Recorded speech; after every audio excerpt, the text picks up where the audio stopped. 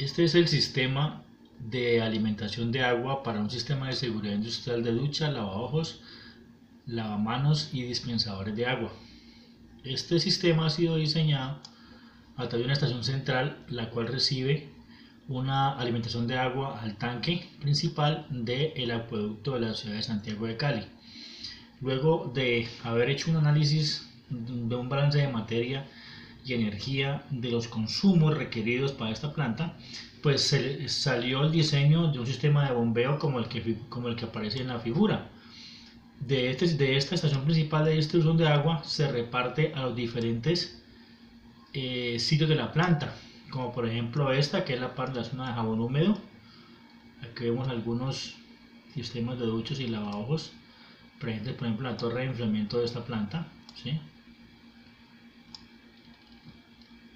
Ya si hacemos un recorrido por toda la planta pues podemos ver por ejemplo cómo este sistema de distribución alimenta cada uno de los sistemas de duchas, lavabos y dispensadores de agua de las diferentes plantas. Aquí vemos una distribución. Eh, inclusive hubo que diseñar sistemas de rate tubería para poder eh, conducir la tubería a los diferentes lugares de la planta Aquí podemos ver, por ejemplo, el sistema de tubería diseñado para, esta, para este proyecto.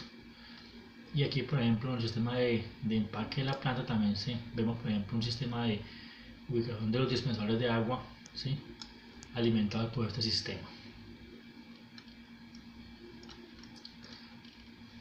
La red principal alimenta el anillo principal de agua de toda la planta y de ahí se deriva los diferentes puntos de suministro de agua.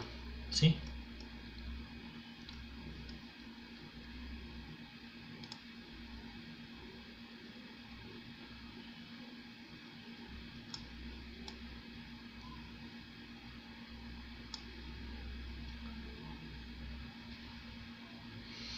Estos sistemas son, son posiciones actuales de estos sistemas de, ubicación de distribución de agua. Vemos que es una planta bastante grande, por tanto pues eh, los consumos estadísticos tienen que ser muy exactos porque no, todo, no todos los sistemas entran al mismo tiempo, según la norma.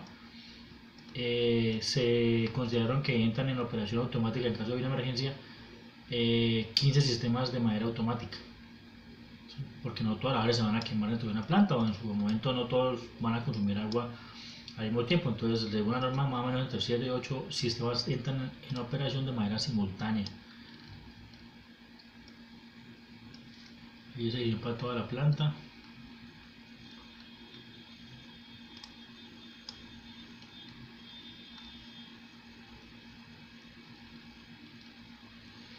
Como vemos, este proyecto implicó diseño civil, estructural, sistemas hidráulicos como sistemas de bombeo, cálculo de sistemas de tuberías,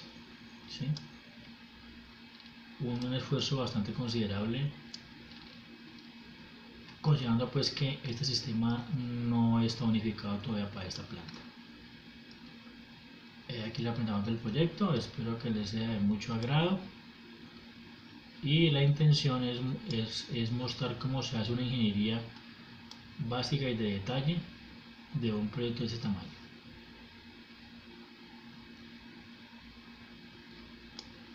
Partiendo de un sistema centralizado de distribución de aguas. Gracias.